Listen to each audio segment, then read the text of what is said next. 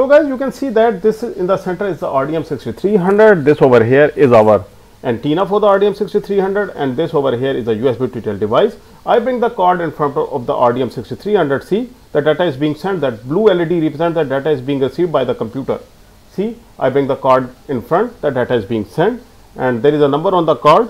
Now I go to the USART terminal see that this is the packet coming. So, this is the same packet being repeated. So, here you can see that 98 EDC3 is being sent. Now, what I do is that 98 EDC3 is being sent. If you take a look at the card on it, it is there is a number printed 00100223339 only the leftmost number matters rightmost discard them and when you convert this number into a hex using hex converter, you will see that this is the same 980DC3 that is received. So, that is all guys. Hello guys, welcome to learning microcontrollers. In this video, I will show you how you can interface an RDM6300 RFID module with a computer using USB to TTL device. So guys, RDM6300 RFID module allows you to uh, like detect RFID cards or keychains or whatever you have and you can then process the data. In this video, I will show you how we can first of all connect the RDM6300 with a computer and we will get the output on the computer and then we will see how we can uh, get this output uh, to be processed in our PIC microcontroller. In the next video, this is the prerequisite to the video I will make next in this series in which I will connect the RDM6300 RFID module with a PIC microcontroller. So, for that we will see whatever the output we get on the computer from this device, we will see how we can process it and we will write a co code accordingly for the PIC. So, guys if for the USB to TTL device you can use any USB to TTL device, it can be CH340, FT232 or CP2012 or any device available at your place. So, guys let us get started. This is our RDM6300 RFID module. You can see that it comes with an antenna. The good thing is you do not have to rub the card on this uh, uh, module, you just pass a card in front of this antenna only and it is detected by the module. Now, you can see that uh, this antenna has a long wire, so it can be a bit far away from the uh, module. So, this is a great feature. And the great thing is RDM6300 RFID module allows the UART port. It has a UART based output like it gives a serial output. So, you can use USB to TTL device or UART port of your PIC to receive the data in a very simple way. Now guys, let's do the connections. As you can see that if you hold it like this upside down, then you will see that there are two ports, three ports, one with two pins where this antenna is connected and you have to connect the antenna in the same way like this. You only have to pass your card in front of this antenna, not the module and it will be detected by the module and it will output the data at the same time to whatever you have like a microcontroller or the computer so, in our case in this video we will be sending the data to the computer and then in the next video we will process it in the PIC microcontroller, microcontroller to do some useful tasks. Now guys as you can see there are two ports left one at the top with 3 pins and one at the bottom with 5 pins.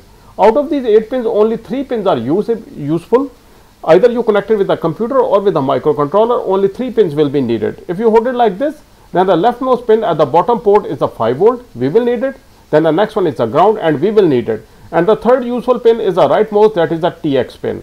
And the center two pin at the bottom port will go empty. Similarly, the three pins at the top port will go empty as well.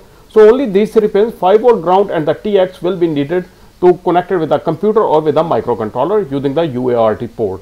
Now guys this is our USB to TTL device CH340. I am going to use this device. Now let me label it for you top pin is a 5 volt then we have VCC 3.3 volt TX RX and ground now to connect it with the RDM6300 RFID module you connect the 5 volt pin directly with the 5 volt pin of the CH340 USB to TTL device like this and then the ground will go to the ground of your USB to TTL device like this and then the TX pin will go to the RX pin of your USB to TTL device. Now whichever the USB to TTL device you have all of the USB to TTL device have these three pins uh, as necessary. The 5 volt pin the ground pin and the RX pin. They are in every USB to TTL device. All you need are these three pins. And in case of PIC microcontroller I will show you in the next video you need to connect the uh, TX pin to the RX pin of the PIC that is pin number 26 Sim now this is very simple connection. Let me introduce you to the hardware before we move on to the on to the demonstration. So guys this is the hardware. As you can see in the center I have this RFID module this and then this is the antenna over here and that is our USB TTL device connected with the computer. And this is the card I'm going to use here. And on the card you see that there is a number. See? 0 0 1 0 0 2 2 double 3 9 152 60867 now first of all let's go to the google and see what is the hexadecimal form of this number. Because this module outputs data in the form of hex and it is written here in the form of decimal. Now this leftmost number this number is important. Leave the rightmost the three digits 152 and 60867 so let's go to the google and see. Okay just let me zoom in so go, you guys can see better. Okay and in the google you just write down here decimal to hexadecimal converter. Simple uh, this whichever you use i just use uh, this one. And i write the digits on my card here the leftmost one. These are 0 0 1 0 0 2 2 339 okay I convert it. Okay this is the hexadecimal part of this number. Okay why I did that? Now let me show you why. Okay now I go to the hardware again see that on the card here you can see the number. It is 001002239 at the bottom. You can see that this is the number here 0 0 1 double 0 double 2 double 3 9 leave the right numbers 152 and 60867 only the leftmost single digit uh, single number is important. Now see that this is what i had just written on the converter here. See 0 0 1 double 0 double 2 double 3 9 98 edc3 now what i do is that i go to the google oh sorry mikroC for pic here. Just open it. And the version I am going to use for the mikroC for PIC is 7.2.0 you can use the latest versions as well. And you can use any other uh, serial terminal as well. But mikroC do have a built-in serial terminal. I will use that. Now go to the tools. In the tools you have this USART terminal. Go there and check the port whichever port it is. In my case it is COM4 where I have connected the USB TTL device. 9600 is the baud rate let the rest are just default. Click on connect. Okay it is connected. Now whatever the data will be done will be received here. Now to show you the data what I do is that I simply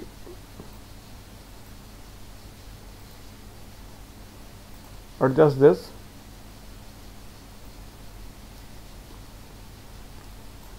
okay. Now I think you can see that. If we will receive the data here and this over here is our